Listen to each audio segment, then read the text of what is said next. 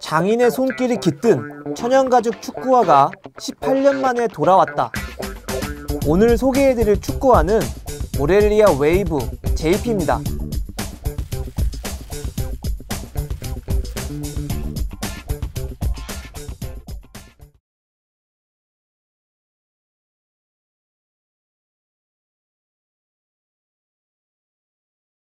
안녕하세요 올댓부츠입니다. 오늘은 미즈노의 rebuild 프로젝트 7탄으로 환생한 모렐리아 웨이브입니다.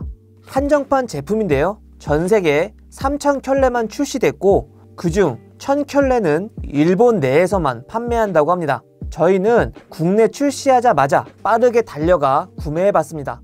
축구화를 처음 꺼내보는 순간 고급 수제화를 보는 듯한 느낌이 들었는데요. 정말 가죽의 quality와 만듦새가 훌륭합니다. 신고 뛰기가 아까울 정도네요. 모렐리아 웨이브에 대해 간략히 소개해드리자면 미즈노가 2003년에 처음 출시했던 축구화입니다. 1985년부터 만들어 온 축구화인 모렐리아의 갑피에 미즈노 웨이브 기술을 적용했던 축구화인데요. 가볍고 유연한 맨발 같은 착용감에 미즈노가 자체 개발한 미즈노 웨이브 기술을 결합한 결과물로 당시에 많은 매니아층의 환호를 받았던 제품입니다.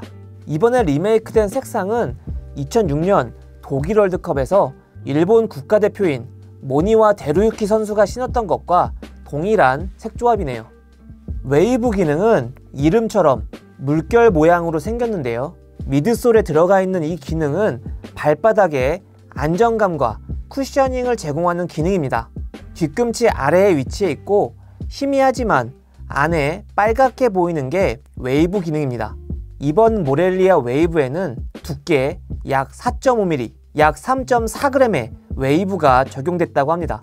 2003년 미즈노 웨이브는 웨이브 기능뿐만 아니라 외장형 heel cup을 재봉으로 붙여버린 것도 특징인데요. 뒤꿈치 부위를 잡아주는 안정성이 매우 우수했던 특징이었고 이번에도 동일하게 제작된 모습입니다. 그리고 접이식 텅까지 완벽하게 구현된 모습인데요. 벨크로를 활용해 텅을 고정시킬 수도 있습니다. 개인적으로 이런 클래식한 접이식 텅의 감성 너무 좋아합니다. 텅은 푹신한 쿠션이 이불처럼 충분하게 들어있네요. 어퍼는 2003년 당시에 캥거루 가죽 스타일이 아닌 현재 미즈노가 사용하고 있는 워셔블 캥거루 가죽입니다. 손으로 만져본 가죽의 느낌은 최신 축구화인 모렐리아 네오 3 베타와 동일하네요. 스티치 스타일은 2003년 버전과 동일하게 구현됐습니다. 2003년 버전과 달라진 것도 있는데요. 오리지널에 없던 내부 스웨이드가 추가됐습니다.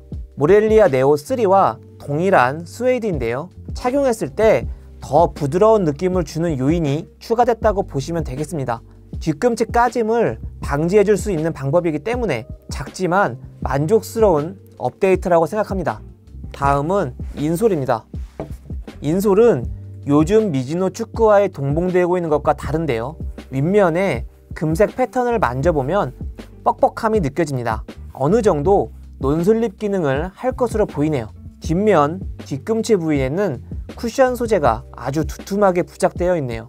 2003년 모렐리아 웨이브에 들어있던 것과 동일한 insole입니다.